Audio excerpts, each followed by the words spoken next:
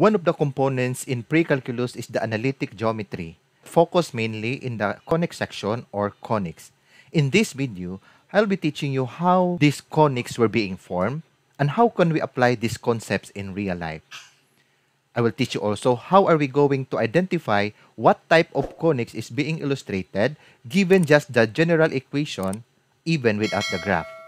So just take around and I will teach you how.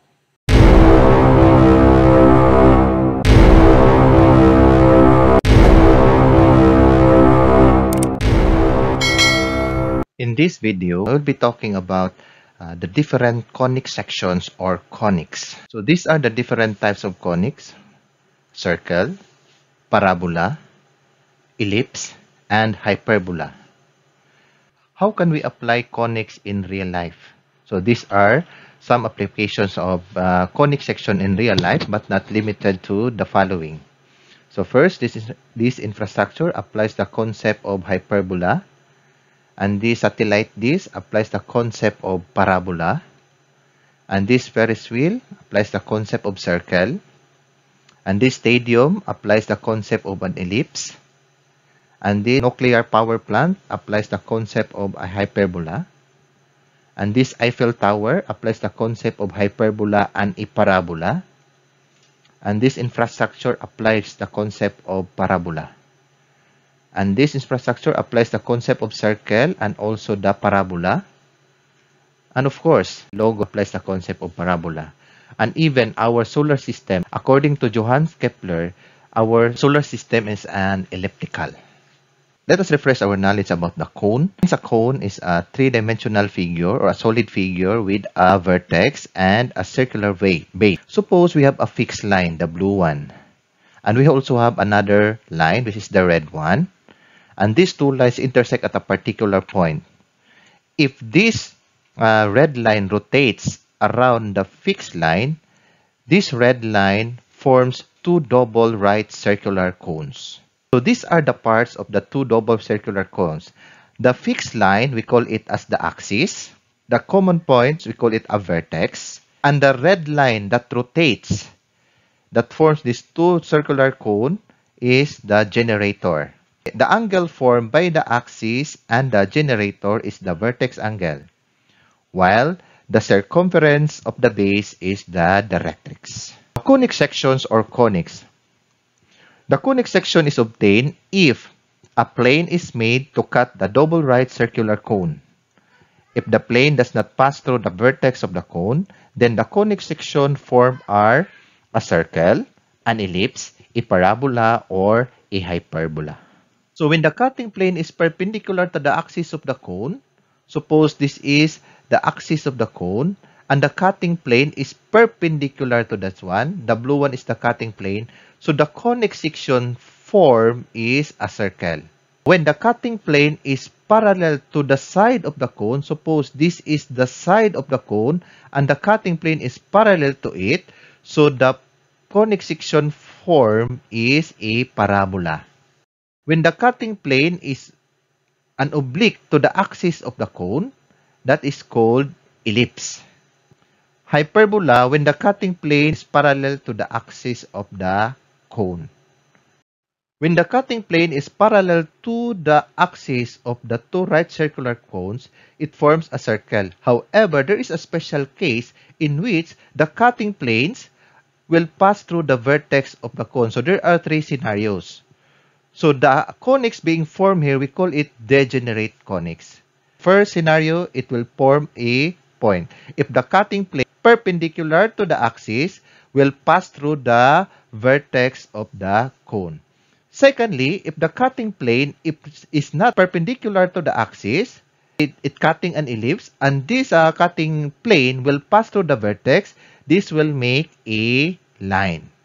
And lastly, if the cutting planes will passes through the vertex and intersects both the top and bottom halves of the cone. These cutting planes move to the vertex. This will form a two intersecting lines. So these are the different degenerate conics, namely a point, a line, and the two intersecting lines. So all conics follows the same general equation which is ax squared plus bxy plus cy squared plus dx plus ey plus f is equal to 0 where a, b, c, d, e, and f are all constants or real numbers and as we change the values of the same constant, the shape of the corresponding conic se section will also change.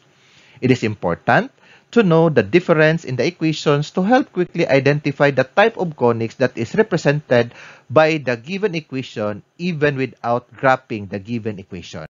By just looking into the general equation of the conics, we can classify them. Given, in this case, we consider that b is equal to 0. So this table would really help us. How are we going to identify them? So in this case, we just focus only on the coefficient of the terms that are being squared, particularly the x squared and y squared. So A is the coefficient of the x squared and C is the coefficient of y squared. When do we know that the given general equation of conics, even without the graph, is the graph of a circle? The equation given is an equation of circle if A is equal to C. The coefficient of x squared is equal to the coefficient of y squared. When do we know that the equation given is the equation of a parabola? So if A is equal to 0, which means there's no term with x squared, and C is not equal to 0, or C is equal to 0, which means there's no term with y squared, and that equation is the equation of parabola. An equation of an ellipse, if A and C have the same sign, is either both positive or both negative. And lastly, hyperbola, if A and C have opposite sign. So let's try to uh, classify these different types of conics based on this given general equation. So example number 1, x squared plus 3y squared minus 4x plus 6y minus 13 is equal to 0. So without graphing this equation, we will be determining what type of conics is this equation. So by just looking into the coefficient of x squared and y squared, so from this equation, our a is equal to positive 1, our c is equal to positive 3, and as you can see, a and c are not equal, and they have the same sign. Therefore, we can say that this equation is an equation of an ellipse. And this is the graph of this uh, general equation of the ellipse. Let's take example. So 3x squared plus 3y squared plus 6x plus 6y minus 4 is equal to 0. So as you can see, our a is equal to 3. The coefficient of y squared is equal also to 3 and both of them are having the same sign. Therefore, we can say that this equation is an equation of circle. Therefore, circle is somewhat a special types of ellipse. This is the graph of this particular equation. So next example, 4y squared minus 2x plus 8y plus 10 is equal to 0. So in this case, a is 0 because there is no x squared term here. So a is equal to 0. And since y squared, its coefficient is 4, so that would be our c. So in this case, this equation is an equation of parabola. So this is the graph of that equation. Number 4, 3x squared plus 5x minus y plus 2 is equal to 0. So in this case, our a, the coefficient of x squared is equal to 3. And we don't have c because we don't have y squared term. So this equation still an equation of parabola. So this is the graph of this equation. Next example, 5x squared minus 4y squared minus 10x plus 16y minus 20 is equal to 0. The coefficient of x squared is 5, positive 5. The coefficient of y squared, which is our c, is negative 4. They are in opposite sign. Therefore, we can say that this equation an equation of a hyperbola. Next example, negative x squared minus y squared plus 3x minus 5y plus 20 is equal to 0. So our a is negative 1, the coefficient of x squared. Our c is negative 1 also, which is the coefficient of y squared. And they are equal. Therefore, this equation is an equation of a circle. So in determining a uh, in determining the type of conics based on the given equation, we just look into again in the coefficient of x squared and y squared. if the coefficient of x squared and y squared are equal, so that equation is an equation of a circle.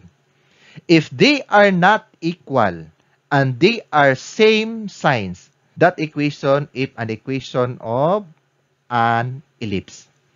If they are not equal and they are in opposite sign, that equation is an equation of hyperbola. If x squared is present and there is no y squared, or if y squared is present and there is no x squared, that equation is an equation of a parabola. Those are the hints in determining the type of conics being illustrated by the general equation even without graphing first the equation of the conics. Graphing of the different types of conics will be discussed in a different videos. If you like this video, kindly hit the like button and in the comment section, kindly send me your thoughts about this video and how can I possibly help you in learning this lesson in an easy way. See you in the next video. Thank you for watching.